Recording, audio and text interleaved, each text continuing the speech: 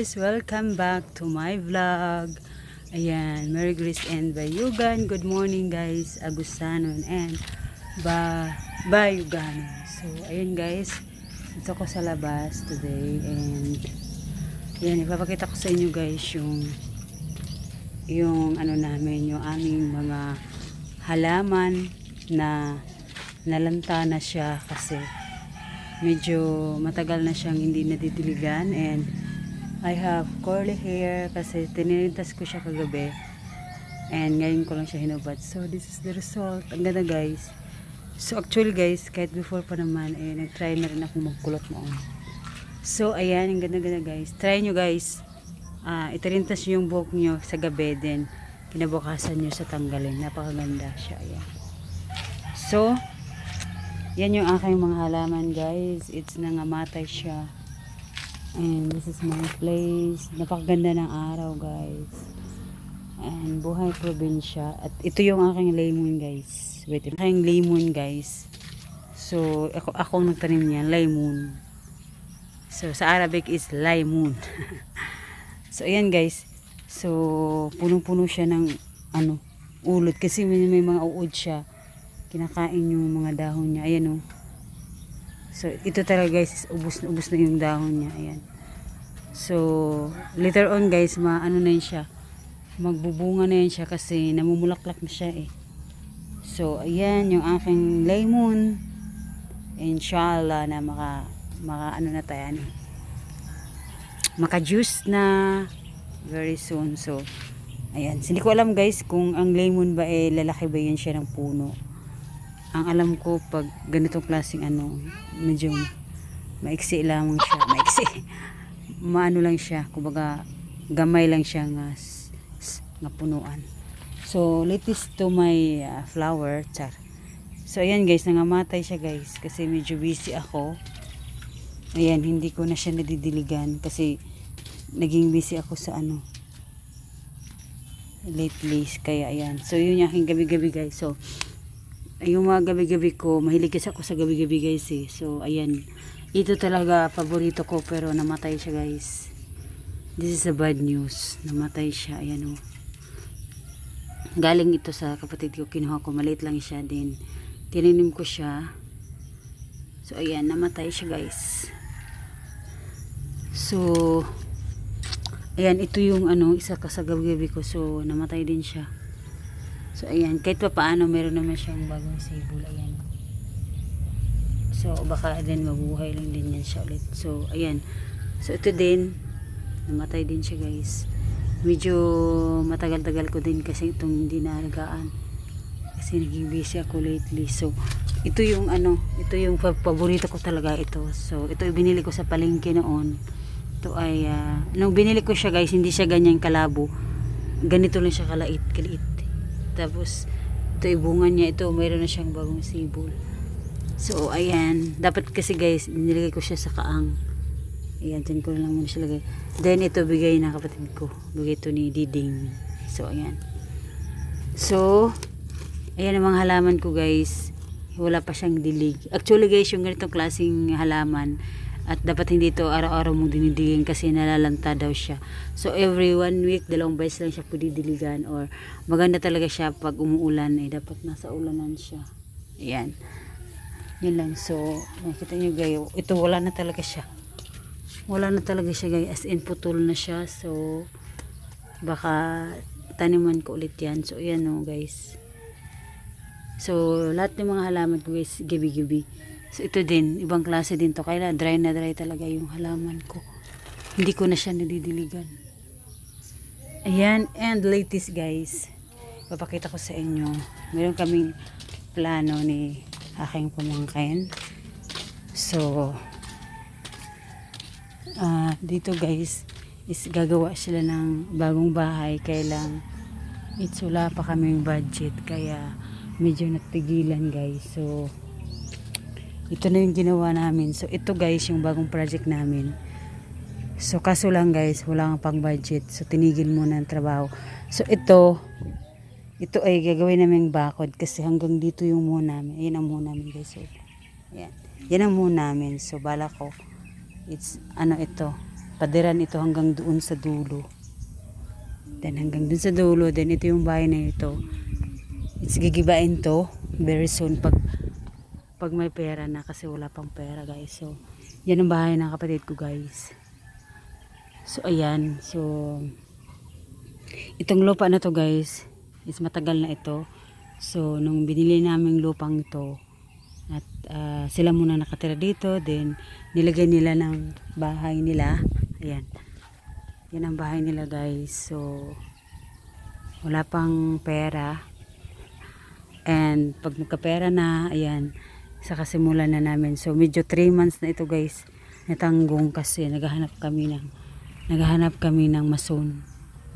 So, wala kaming makita kaya medyo tanggong muna siya guys. Ayan, and sana nga maayos ito yung bahay nila kasi yung bahay na talaga guys na ano na, marami na siyang butas sa bubong, ayan. Pag umuulan, tumutulo na, ayan. So, okay lang yan guys, ganun talaga ang buhay. So, unti-unti lang siyang ayusin, ayan. God's will nga sana eh maayos na yan, ayan. So, ayan guys, by the way, ayan, ito yung aming lugar. So, nakita nyo guys, meron akong ginawang ano, music video, yung parang intro ko, dito ko ginawa yun. Kaya lang copyright siya guys, so hindi ko in-upload sa channel ko kasi copyright yung ginawa kong bagong intro. So, sayang yung pag ginamit ko, sayang yung video ko pag nilapat ko siya kasi nga, it's copyright. So, ayun guys, yung bata na yun. yun. So, ayan guys, napakaganda yung araw today guys kasi medyo mahangin siya. Yung hangin niya, it's malamig. Ayan, fresh talaga sa katawan. So, yan. Then, ito yun guys, nakikita nyo, meron kaming palayan dito. Ayan, mga palayan. Ayan. So, ayan guys. Yung lugar nito guys, eh, hindi ko, ano, hindi ko mapapa, mag, ipagpapalit sa malaking gusali sa syudad char.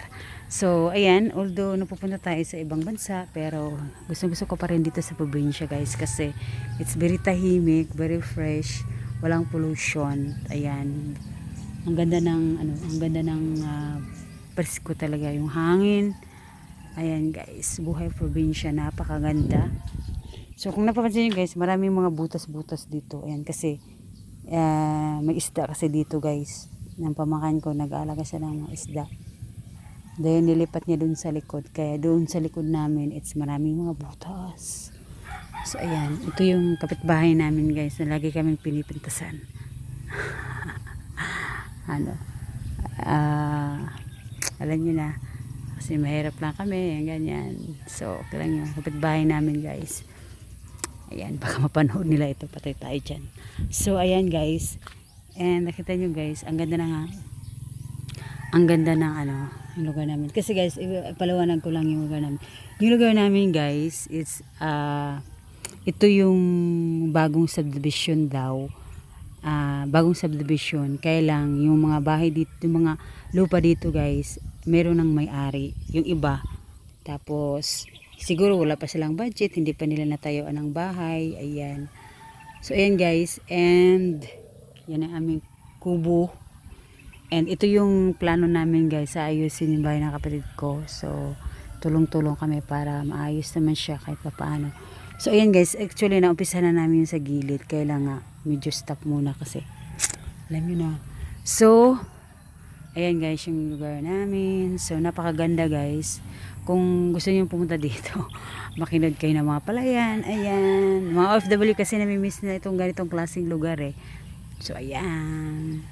Guys, nakita nyo yung my beautiful place in Bayugan. So, ayan. So, ito yung lugar namin. So, nakipansin nyo guys, yung ano to, sapa. Yung sapa dito guys, wala siyang tubig. Uh, nahubas siya. Uh, kasi pag maraming ano, pagting ano na, pagting tanim, sa kanila bubuksan yung neya, na, aneya kasi galing to sa irrigation na tubig eh. So, pag magka, ano na, pag magka, uh, ani na, marami na yung tubig. Kasi tinutubigan nila yung palayan nila. So, ayan. So, usually guys, yung ano, ano. So, maganda naman ito guys kasi hindi naman siya, ano, hindi naman siya, tawag dito guys, hindi siya nagbabaha dito sa amin. So, napaka-thankful namin kasi kahit uh, medyo malakas po ang ulan, then yung tubig niya nandoon sa irrigation, hindi siya pumapasok dito. Kaya very thankful po kami.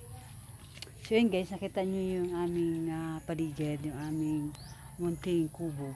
So yan.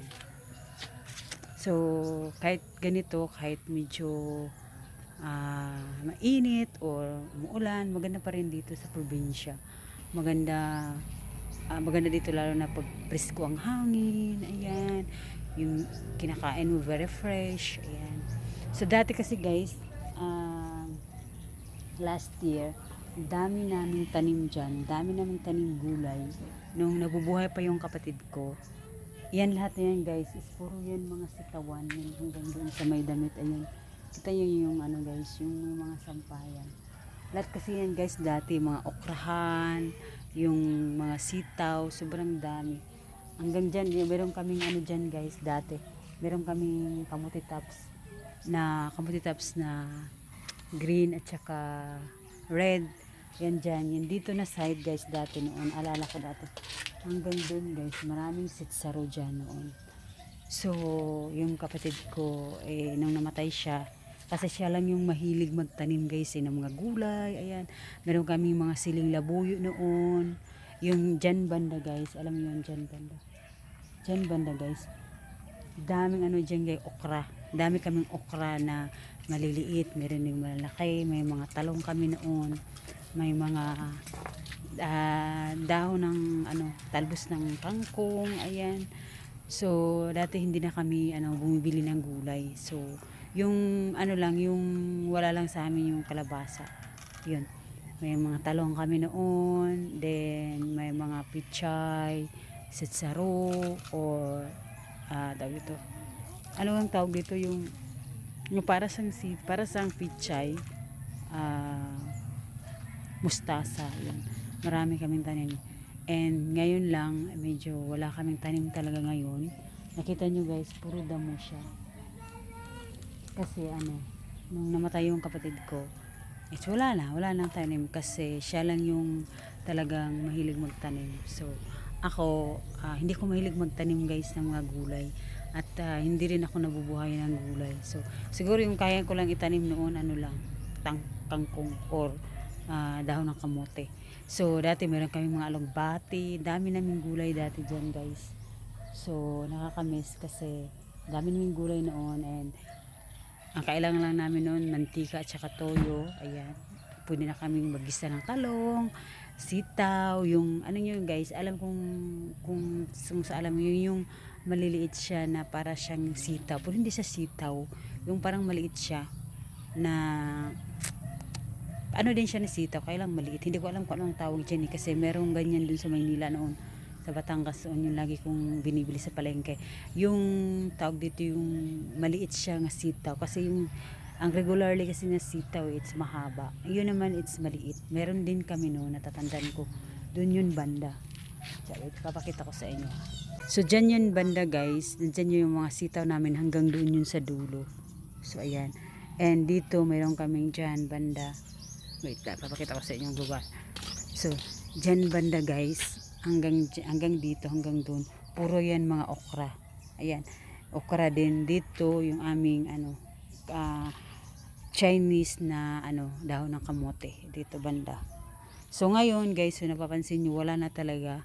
Wala na kaming ano tanim. And puro na rin damo.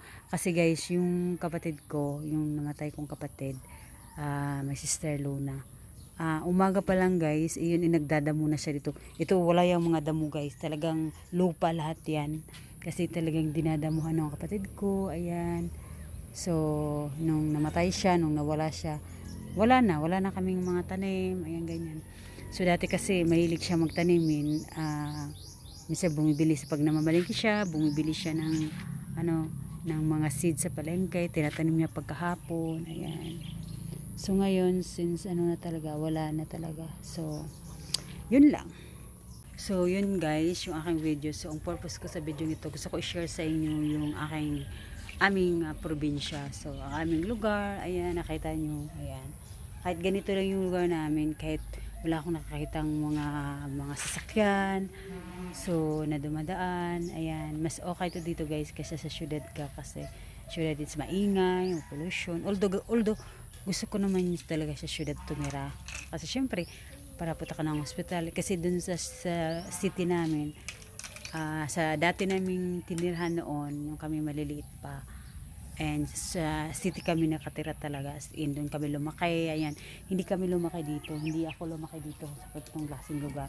So, ngayon lang ako ah, nakatira dito sa ganitong klaseng lugar. Ayan. Kasi naibenta na yung bahay namin doon sa probinsya. Doon sa, ano namin, sa city.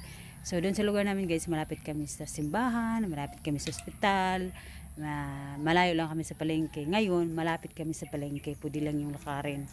And that's, dati namin tinirhan dun sa syudad. It's malayo siya sa palengke. Pero malapit siya sa mga mall. Uh, pwede, pwede mo lang yung lakarin, mga butika. Ayan. Dito, uh, walang butika. Punta ka pa sa palengke o punta ka sa syudad. Sakay ka ng tricycle. So, ayun. So, yun lang guys yung aking video today. And ako po ay napapasalamat sa lahat pong uh, uh, nag-subscribe po sa akin. Thank you so much guys. And sa mga nanood po sa aking Lego Challenge, ayan. Very soon guys, gagawa po ako ng Lego Challenge. Pero ngayon guys, lalo muna ako kasi uh, mahirap po guys mag uh, mag Lego Challenge kasi lalong lalo na pag uh, monetize ka na, mahirap sa i-monetize kasi tini, uh, chine-check siya ng ano natin ng Google ng YouTube. So pag ano pag uh, medyo uh, medyo daring yung challenge ginawa mo uh, naglimit siya kumbaga hindi siya talaga automatic naman na monetize kaya meron akong lahat yata ng mga uh, Ligo challenge ko it's limit ang monetize niya. So ina ang ginawa ko guys is uh, ni-request review ko siya para i-review nila yung video na ginawa kong Lego challenge. Kasi yung mga Lego challenge ko guys malalaki yung views siya. Malalaki yung views 40,000 85,000 ang views. So sayang guys pag i-delete ko siya. Kaya, kaya ang ginawa ko guys it's uh, request review ako para makita nila na medyo hindi naman there yung ginawa kong Lego challenge ayan maraming ano guys maraming nagkagusto dun sa aking Lego challenge pero mga guys and uh, wait lang kayo kasi very soon gagawa po ulit ako ng Lego challenge alam ko tiningnan ko lahat po mga lalaki na nanonood syempre Ayan guys, and hindi naman yun kabastusan yung ginawa kong Lego Challenge. Uh, nakadamit pa rin naman ako kahit nag-Lego Challenge ako. So yun guys, kasi hindi lang naman ako gumagawa nun eh. Maraming gumagawa nun, lalo na mayroon ding lalaking gumagawa na panood ko before akong nag-start magligo challenge, may nakita akong lalaki na nagliligo challenge siya sa loob ng banyo niya. So, maraming mga foreigner na gumagawa ng ganitong klaseng ligo challenge, hindi lang dito sa Pilipinas, pati rin sa ibang bansa, ba? So, akala ko uh, mga babae lang gumagawa nito. Meron din palang lalaki. So, bakit nga ba tayo na gumagawa ng ligo challenge? Isa guys, isa 'yun sa uh, malaking tulong yon sa mga bagong YouTuber na naghahanap pa sila or nag-iipon sila ng kanilang uh, tawag dito guys, ng kanilang watch hour. Kasi malaki talaga yung tulong ng Ligo Challenge sa mga bagong YouTuber kagaya ko. So napakalaking tulong yun kasi doon yun doon yung lumulobo yung watch hour mo. So uh, yung pamangking kong si Bang Baeng Agusano, siya yung nag-suggest sa akin na uh, gagawa ko ng Ligo Challenge. So uh, from the start na ako yung nagvo-vlog, hindi talaga ako gumagawa noon. So, napansin ko medyo uh, konti lang yung watch hour ko. Kaya naisip ko, ano kaya gagawin ko para lumaki yung watch hour ko? Para mabilis ako matapos. So, yun nga guys, malaking tulong yon sa lahat ng nagkakaumpisa pa lang ng mag-YouTube. So, yan lang guys and thank you so much for watching this video guys and sana uh, nagandahan kayo sa lugar namin kahit ganito lang siya sana nagustuhan nyo yung aking video. Thank you so much guys for watching. And see you next times ulit. Dito pa rin yan sa aking YouTube. And Merry Grace and Bayugan. Thank you so much guys for watching. Good morning po sa lahat. Bye guys. See you next time. Bye.